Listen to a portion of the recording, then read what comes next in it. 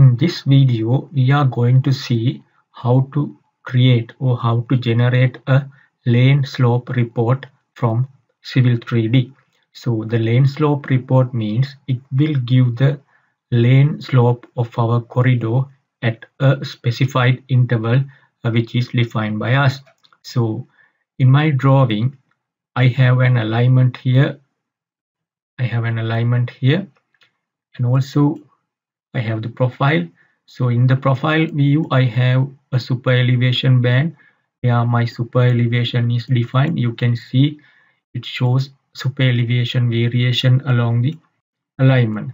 So by a corridor lane slope report what we are getting is the super elevation value of each lane at uh, a specified interval. So for example if the super elevation or the slope value of 190 station it is something uh, different from the value of the left side of the lane and right side of the lane because you can see there are two different variation of the super elevation. So from a lane slope report we can directly get what are the lane slopes at that station and also uh, any other stations uh, which we define so to do that we need a corridor as well as sample lines. So I have sample lines here.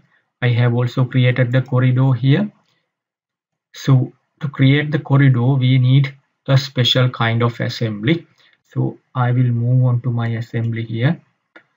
So you can see this is a normal two lane assembly but here we are using a special kind of uh, sub assembly type not actually a special kind but usually used uh, as sub assembly which is the lane super elevation AOR so if you want to find where it is I'm going to this tool palette here. So it is on the lanes tab and at the top of the lanes tab you can see the lane super elevation AOR value AOR subassembly. So that is how you uh, create this assembly for the corridor. So when you are creating the corridor and when you are creating the assembly you have to give the correct lane slope or the super elevation slopes to this assembly. So to do to see what is the correct super elevation you have to go to the alignment. So i am going to the alignment. I'll select the alignment here. Then under super elevation on the ribbon i'll go to view tabular editor. So i have this super elevation editor. I'll expand expand it. So in there you will have to see you have to check where is the super elevation changing column. So you can see on the left side super elevation is changing on left outside lane. Others are zero you can see. So if i move to the right you can see my right side is changing on the right outside lane. So on the assembly or the sub assembly you have to set the right outside lane and left outside lane for the super elevation options. So i'll close this one. Now i will move to the assembly. I press escape so now i select this assembly and go to subassembly properties and go to parameters tab and i will check what is the super elevation value i have set. This is where i have to set my super elevation so make sure your left side has the left outside lane or left lane outside super elevation option. That is the option we have in the alignment. So another thing we have to make sure is your outside point code. It should be edge of pavement or ETW if you use any other option from here it will not give you the correct lane slope options in the report or it will not give you the lane slope when you create the report. So make sure you are getting this correctly. Edge of pavement or ETW for the outside point code. So in the similar manner if you go to the right side you have to set the super elevation value in the parameters tab for the right lane outside and your outside point point code should be edge of pavement so if everything is set accordingly then you have to create the sample lines. So if you want your sample lines or if you want your lane slope at 10 meter intervals you have to create the sample lines at 10 meter intervals.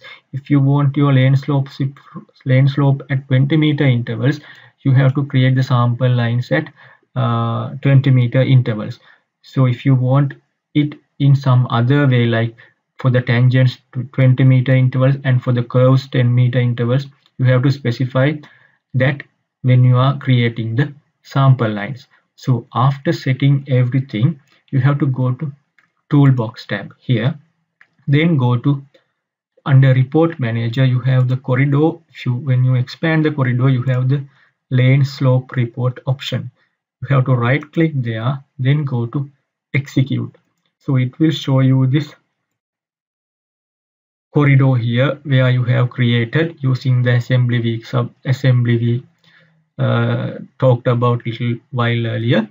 So once you select this one it will show you at uh, you, you, can set at what station range you want this uh, report. So I am going to get the report throughout the alignment and you have can set the uh, report type here. So this currently this is HTML report. So if you want to get Excel type report you can set Excel 93 2003 workbooks type here. So it will directly give you the Excel type report. So you can if you want you can change the name here as well. I'll click save now. And when I now I click here to create my report. So it will open up uh, the report in a short while. So now you can see my lane slope report. Slope to the left minus 2.5 slope to the right minus 2.5 at station 0 and you can see at some stations we have a super elevation transition. You can see here on the right side also you have the super elevation transition transition. So likewise you can get all the super elevation transitions and all the uh, super elevations at 10 meter intervals according to this report. It will also give you the existing ground elevation and the finished ground elevations. So if you know the uh, lane offset, you can directly calculate the lane edge elevations from this data. Also, it gives the uh, center line coordinate as well at these locations. So this is how to create a lane slope report from Civil 3D.